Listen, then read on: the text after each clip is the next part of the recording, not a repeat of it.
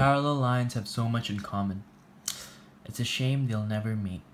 Hey everybody, welcome to the Math SL revision course put together by me. So math was one of the more harder subjects for me during the IB, but a lot of my troubles with math subsided once I found these online resources and I think it could help you as well. So what I've done is I've put together these online resources and I think the power of them together, it can really, really help you in your revision. So the first thing you're gonna do is topical past paper questions. So when you do past paper questions by topic, you have to understand that in, especially for section A, 80% of the syllabus hasn't changed in the last 10 years. So the IB's just basically been finding new ways to ask the same questions.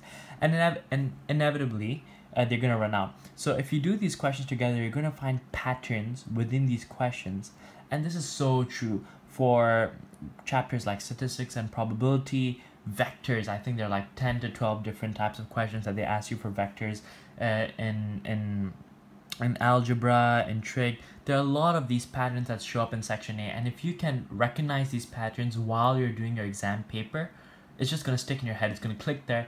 And when you're doing these same type of questions in the exam you're going to remember oh that's not the way i'm supposed to do it.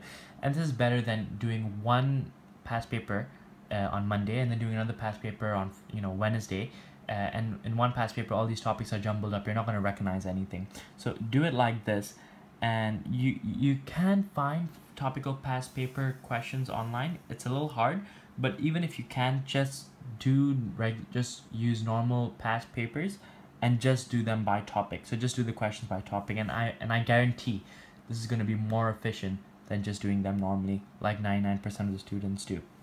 The next thing you're going to want to do is before you attack these topical past paper questions you want to just revise the whole topic beforehand but how do you do that don't go to your textbook. There are two options I've laid out for you. So the first option is reading notes by a guy called Steve Muench. So this guy posted his notes on IB Survival and it's basically the most comprehensive set of notes that I've ever seen for Math SL.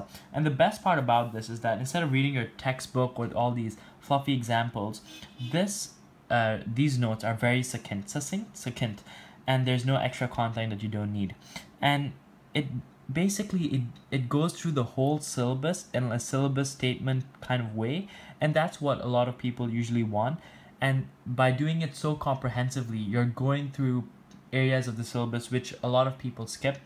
And the best part is that because it's so comprehensive it covers all the cases of the questions that might come in the exam. For example uh, you know they might do sigma notation for arithmetic that's one section but then the next section is sigma notation for geometric series. And the next question is geometric, is sigma notation for infinite geometric series. So it covers all the possible uh, cases outlined in the syllabus and under those syllabus statements, it kind of explains them with really good examples. So this really helped me when I was doing calculus because I missed a lot of the classes.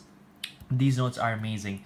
Okay, and the second option is IB Math SL videos by a guy from PEI Canada called Math SL1. I'm sure everyone who's watching this video knows this, but they're basically these topical review videos and they cover all the general main aspects of the topic. Uh, so this is way more engaging than just reading notes, obviously. Uh, but the thing is that it's not covering every single aspect of the syllabus, but it's really good. And he also gives you printout notes that you can follow along with the paper. And I use his videos a lot for my, uh, when I was doing my revision. I remember uh, you know, I woke up at 4 a.m. I one day before my math exam, I didn't do any questions. What I did is I woke up early and I just started viewing his videos, and I just remember sitting there and I was in the toilet, and I was just sitting there viewing his videos. It was so calm. It was so easy to go along. I mean, it was a beautiful moment.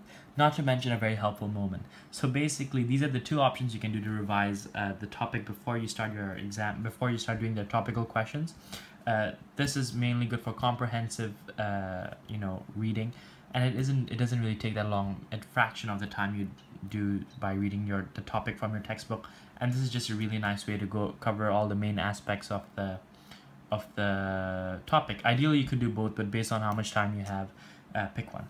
And now, obviously, the last thing is that when you're doing your topical past paper questions, there's going to be times where you're just getting stuck, no matter how much you try. So instead of going to your textbook, rereading the the content or going to the notes, what I'd recommend you to do if you want to reteach your content properly to yourself is go to this website called ibmathsresources.com and uh, they basically index all the relevant YouTube videos for the Math SL exam. And the best part is they did this from two channels, one from Patrick JMT, which is the king, and I'm not kidding, he's the king of math videos on YouTube, and his queen exam solutions. I don't know if they know each other, uh, most likely not. But these two people are really really good videos for introducing the topics and learning the content. I basically self-studied all of calculus from Patrick JMT uh, and a lot of statistics and probability from exam solutions.